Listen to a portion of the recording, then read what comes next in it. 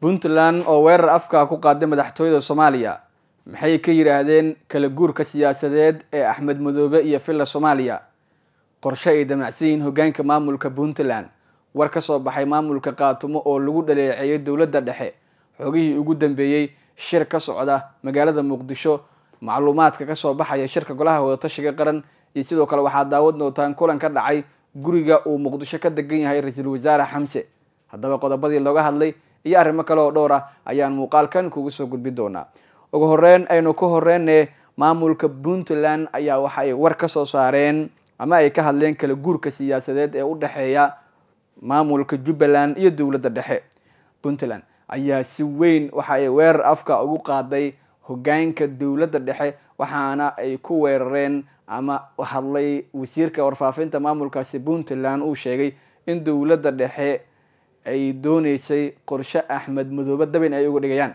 Hadalkiisa ayaa u muuqday inuu ahaa mid si gaara u taabanayay madaxweynaha soomaaliya waxaana maamulka puntland mar kale ay ku sii adkeysteen khilaafka dowladda dhexe kala dhexeeya iyaga oo taageero u muujiyey kala tagga siyaasadeed ee villa soomaaliya iyo sidoo kale maamulka jubbaland. Axmed madoobe iyo siciid deni ayaa muddooyinkii ugu dambeeyey ama sanadihii la soo dhaafa ahaa saaxiibo siyaasadeed oo aada isugu dhow waxaase kala tagooda la soo wariyey markii madaxweyne xasan sheekh maxamuud dib loo doortay wixii ka dambeeyey xilligaasi oo safarkii ay qaar ka mid a madaxda iyo mas'uuliyiinta dowladda ay ku tageen garoowe caleemasaarkii siciid deni uu kaga baaqday khilaaf siyaasadeed oo u dhexeeyey awgii. Waxaa la soo warinayaa hadda in khilaafaadkii jira la xaliyey waxaase puntland ay sheegtay ama wasiirkan u hadlay oo ku hadlaya afka puntland uu sheegay in madaxweynaha jubbaland la doonayay qorsho lagu qaarijinayo ama qaarijin siyaasadeed uu ku tilmaamay waxaana uu sheegay in ay rabeen madaxtooyada soomaaliya in guddiga doorashada iyo shaqada doorashada ee jubbaland oo dhan iyaga inay gacanta ku dhigaan.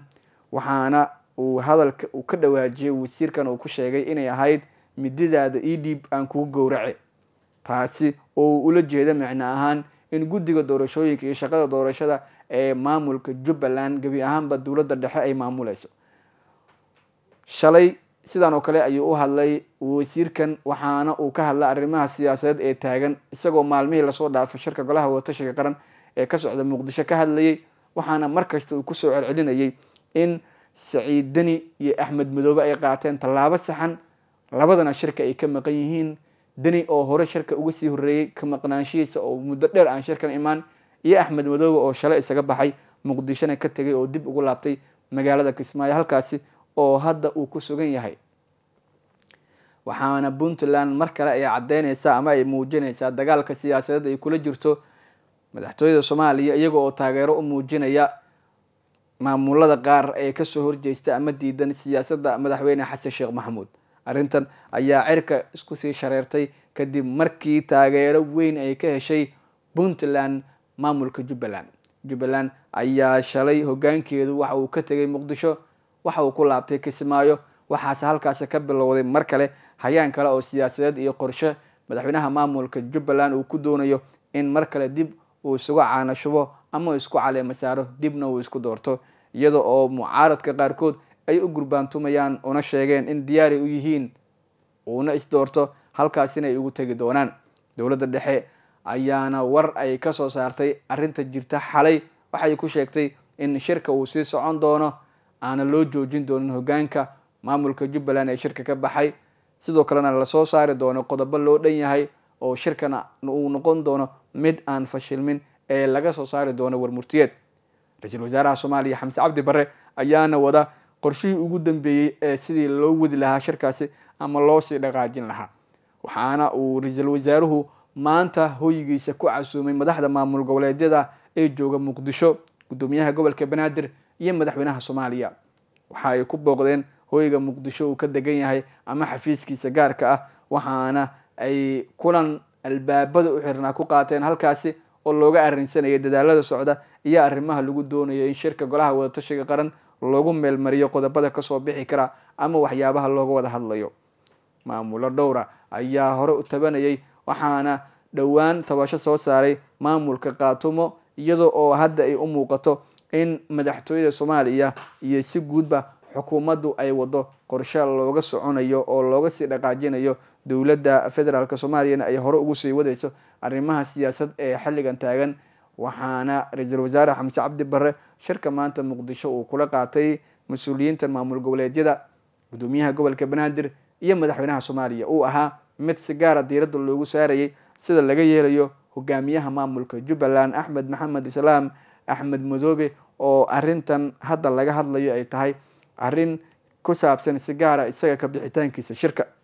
Marka intaasi oo dhan laga soo tago tan puntland iyo sidoo kale khilaafka dowladda dhexe iyo maamulka jubbaland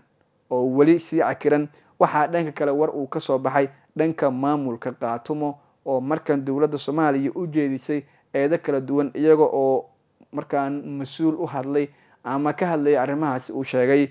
waxyaabaha taagan iyo sida markaasi hadda ay wax u socdaan. Cawad ayaa waxa uu sheegay in dowladda dhexe ay markaasi ka abaal dhacday maamulka kaatumo waxaana uu sheegay in xilligan ay socdaan qorsho maamulka kaatumo ay uga jawaabayaan arrimaha hadda taagan.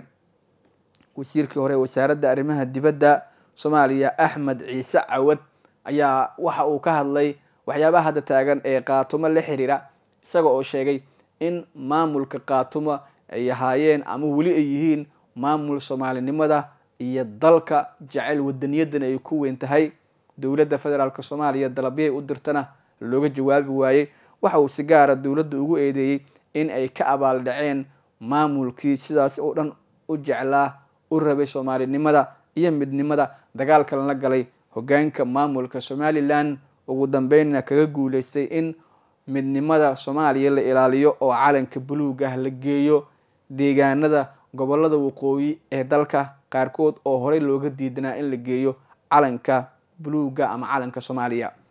Waxay hadda u muuqataa arrintu mid ka sii daraysa waxaase uu sheegay isaga oo gar dhiganaya